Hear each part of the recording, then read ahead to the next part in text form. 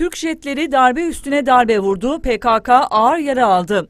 Türk ordusunun kararlı operasyonlarından sonra bölücü terör örgütünün harekat alanı kalmadı. Hem Türk Silahlı Kuvvetleri hem polisin hem de jandarmanın yapmış olduğu e, geniş çaplı e, operasyonlarda PKK zor durumda kaldı. Onun için e, bas bas bağırıyor. Savaşacak mecali kalmayan PKK, Suriye'de Amerikalılar tarafından eğitilen PYD militanlarını Türkiye'ye çağırdı. O bilgiyi de Ulusal Kanal Yayın Kurulu Başkanı Emekli Korgeneral İsmail Hakkı Pekin açıkladı. Dolayısıyla şimdi e, Hasake'deki güçlerin biliyorsunuz Hasake'nin bir kısmında PKK ve PYD hakimdi, bir kısmında Suriye güçleri vardı. Şimdi oradan güçlerini çekiyor. PYD'nin Batı ile yakın ilişkisini de örgütün üst düzey askeri yetkilisi Civan İbrahim itiraf etti.